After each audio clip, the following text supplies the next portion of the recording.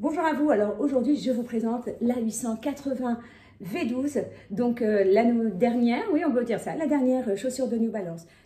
Et donc tout d'abord le style, donc un style unique qu'on peut porter en lifestyle, j'ai beaucoup porté aussi. Deuxième chose, le confort, alors là c'est comme pour la 1080, bon forcément quand on a la technologie French Foam ici, ben, on sent le confort tant au niveau de, euh, au niveau de, de l'amorti qu'au niveau de la coque talonnière, au niveau des, euh, quand on voit ça c'est rembourré, donc ça c'est vraiment chouette. Et puis euh, on a aussi ce confort au niveau du, matin, du maintien avec une empeigne qui est vraiment agréable et, et confortable. Deuxième chose, le dynamisme. Alors c'est vrai que en général, j'aime les chaussures qui sont bien confortables.